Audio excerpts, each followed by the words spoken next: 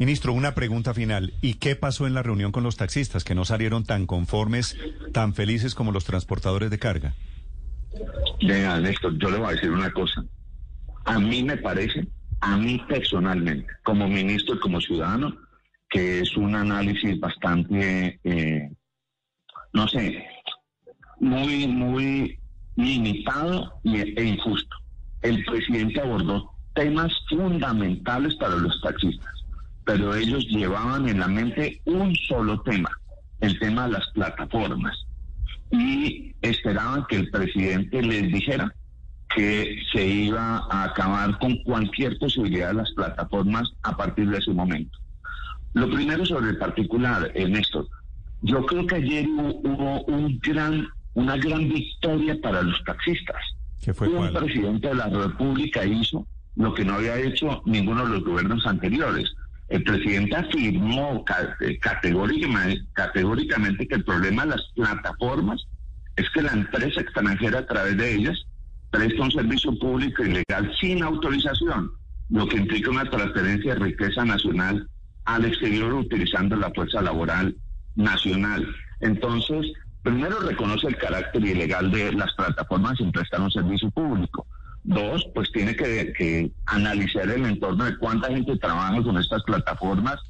Y tres, es evidente que se están llevando los recursos del país, que no están pagando tributos, que no están generando ningún tipo de regalías. Y la orden sí es perentoria que entre el Ministerio de las TIC, Ministerio de Trabajo y Ministerio de Transporte, el tema esté definido en, en las próximas semanas. Y lo vamos a hacer. Este es un tema fundamental para nosotros. Ministerio de Transporte y Ministerio de Comunicaciones definan qué. Que definamos qué vamos a, hacer con el tema de la regulación de las plataformas. ¿Cuál va a ser la posición nuestra frente a todo el tema de transferencia de riquezas y cómo vamos a, regular este tema de las plataformas. Ministro, pero si es tan histórico lo de ayer del presidente Petro diciendo que, que Didi y Uber y Cabify son ilegales, ¿por qué hoy están funcionando esas plataformas que al gobierno le parecen ilegales? Porque acuérdese que tiempo atrás el Ministerio de las, de las TIC en el gobierno anterior estableció que este era un tema que se regulaba como un tema de plataformas regulado por las TIC y no como un tema de prestación de servicio público. Ese es el tema que hay que entrar a resolver. Nosotros hemos convocado a las plataformas a una reunión que creo que será la próxima semana y vamos a, seguir trabajando con los taxistas encontrando una solución que se ajuste a atender una problemática social que además hay muchísimos colombianos que prestan esta actividad de las, de las plataformas que también necesitan una respuesta y una solución del gobierno. Pero, ministro, lo que usted está anunciando es ayer con esta reunión Petro con los taxistas, del señor presidente con los taxistas, comenzó el primer paso para el desmonte de las plataformas de transporte en Colombia? Sí, sin duda, Néstor. Y yo les invité ayer mismo en la tarde a que hoy empecemos a trabajar para que tengamos una respuesta pronta, porque ellos también dicen, bueno, pero esto nos va a pasar como los gobiernos anteriores. Y esa punta como de palmaditas eh, y ya, y no hay soluciones de fondo. Y aquí las vamos a tomar, Néstor. Es un compromiso del pero, gobierno. Pero, ministro, discúlpeme. Y entonces, para la gente que lo está escuchando, que debe estar alzando las cejas diciendo, me van a prohibir que yo use esas plataformas, no voy a repetir los nombres, pero pues ya sabemos de qué estamos hablando, o para los conductores de esas plataformas, ¿ese servicio está a punto de expirar?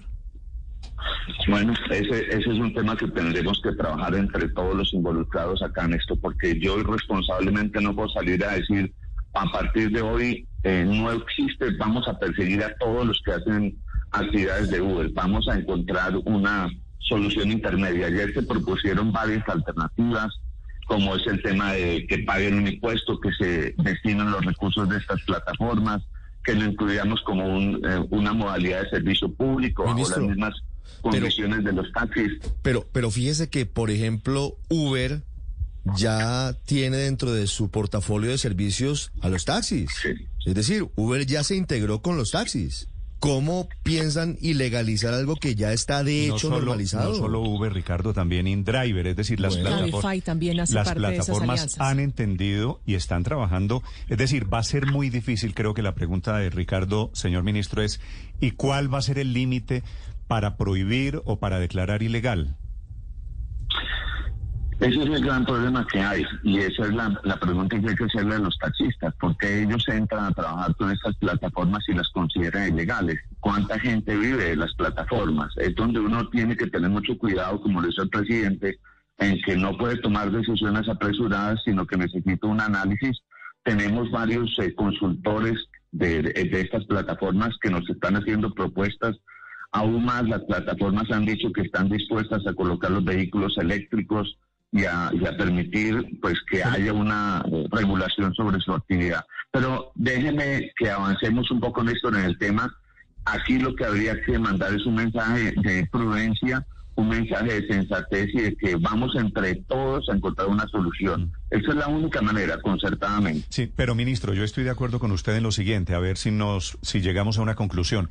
Es la primera vez que un presidente de la República le dice claramente aquí en una reunión con taxistas a las plataformas estas digitales de transporte, Uber y demás, Didi, Cabify, InDriver, todas estas, que ese servicio es ilegal, que están actuando mal porque se llevan la plata de los colombianos, que no pagan suficientes impuestos y que, y que esto va a terminar. Ningún impuesto, ¿no? ¿Cómo? No pagan nada. No pagan ningún impuesto. No pagan ningún impuesto, eh, ministro relacionado con el negocio? ¿Pagan, pagan qué, renta o pagan algo?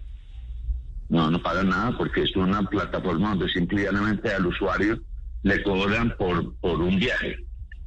¿Y, la plata? y le pagan al conductor, por supuesto. ¿Y la plata? Las plataformas son plataformas que funcionan a través pues, de, de, de las redes, ¿no? Sí. Sí. Bueno, y esa, esas, esas casas de operación de estas plataformas creo que están afuera. Es decir, cuando uno paga con la tarjeta de crédito, esa plata no pasa por el Ministerio de Hacienda en Colombia, ¿no? Así es. Vale. Eh, ministro, gracias por acompañarnos, gracias por los anuncios. Bueno, Néstor, un feliz día para ustedes, sus oyentes. Felipe, creo que, creo que esta declaración, dice el ministro, esta es histórica porque es la primera vez que un presidente declara o les dice a los taxistas esas plataformas son ilegales, que es o sería una victoria para los taxistas, ¿no? Sí, pero como los taxistas ya están en esas plataformas que las van a desmontar y van a dejar a miles de ciudadanos sin empleo.